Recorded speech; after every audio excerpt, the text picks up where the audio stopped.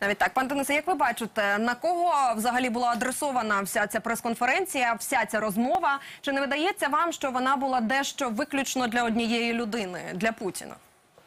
Да нет, прежде всего эта конференция была настроена на внутреннее э, избирательное э, политикум Беларуси, она для своей страны.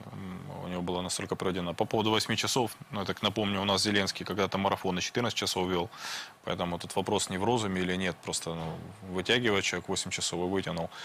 А, и Месседжи были отправлены как в Россию, так и в Украину.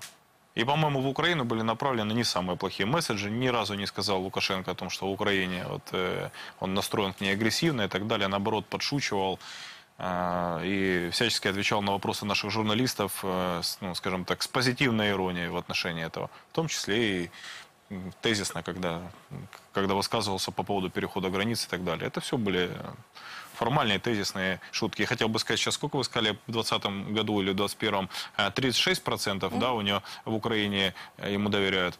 Ну, по-моему, это больше, чем Зеленскому, я не ошибаюсь. Ну, дивіться, е, ми поговоримо про рейтинги трохи пізніше в кінці нашої програми. А, Так як бліц опитування, пане Олеже, як вам? Е,